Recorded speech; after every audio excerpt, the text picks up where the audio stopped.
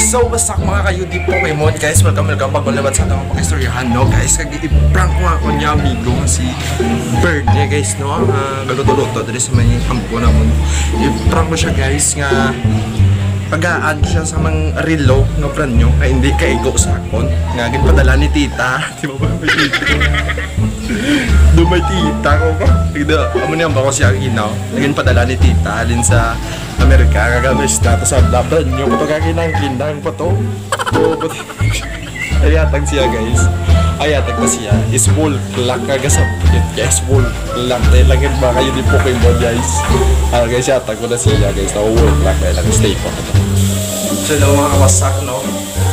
Ay, sa mga yatag na siya guys. Wala siya ba Wala mo diwata guys. Full clock guys. Sa full clock. Wala mo yung ginawang bawa ginaka. Padala, titalin sa Amerika. Katak sa dito. Basta pa yun. Oo, sigurado. Excited siya sa kasi. Dagan ko sa kasi. Kansa ka kansa.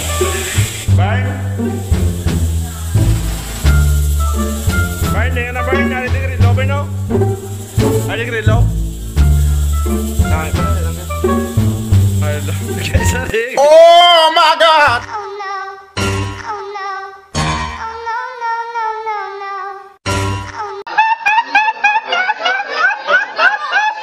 Anak siya grillo. Ang yata ko grillo.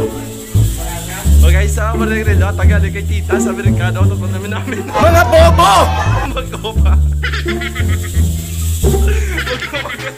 Mamuno sa With some bro.